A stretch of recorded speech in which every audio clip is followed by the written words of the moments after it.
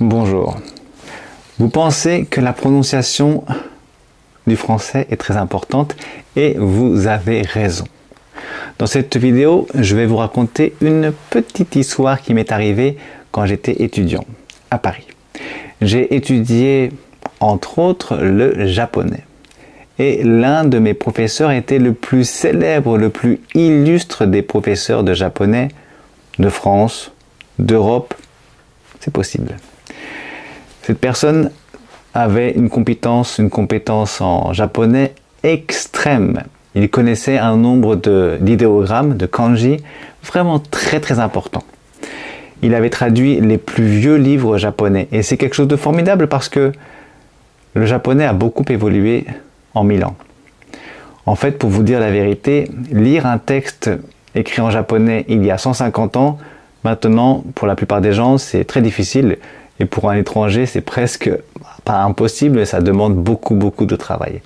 Lui, il a traduit des textes d'il y a plus de 1000 ans. Donc c'est quelque chose de vraiment, un travail vraiment fantastique. Quelque chose de très, très, un niveau très, très élevé. Cependant, je me rappelle qu'un jour, un élève qui ne parlait pas français euh, a posé une question à ce professeur en japonais.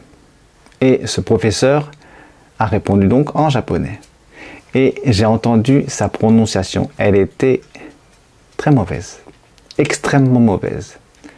Tellement mauvaise que c'était presque difficile à comprendre. Bien sûr, comme il avait une prononciation française, moi j'ai compris.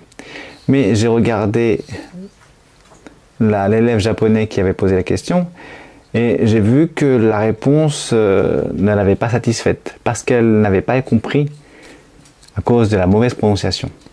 Et j'ai regardé rapidement les regards se croiser et j'ai vu que le professeur avait remarqué que l'élève n'avait pas compris parce que sa prononciation était mauvaise. Et j'ai vu une gêne dans, cette, euh, dans ce regard, dans le regard du professeur.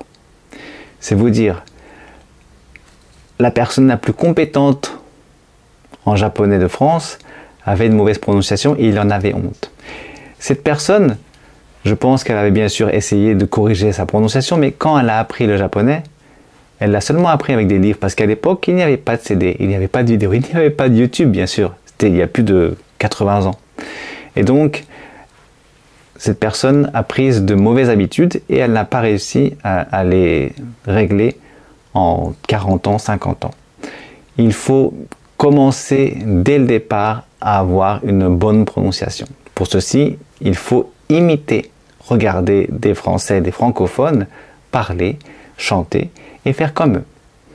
C'est un travail qui n'est pas si difficile que ça, mais qui prend un peu de temps. Si vous commencez directement à apprendre avec des textes, vous allez utiliser la même prononciation et les mêmes, mouvements de bouche que dans votre langue.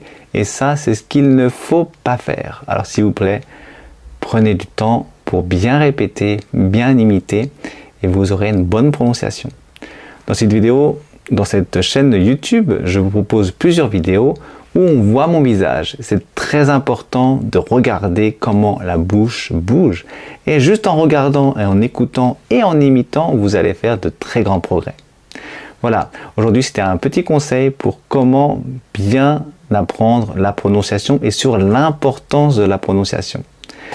J'espère que ce type de vidéo qui vous raconte un peu ma vie vous intéresse. Si vous avez appris quelque chose, n'oubliez pas de mettre un like et d'écrire en commentaire si votre langue a beaucoup changé en 150 ans.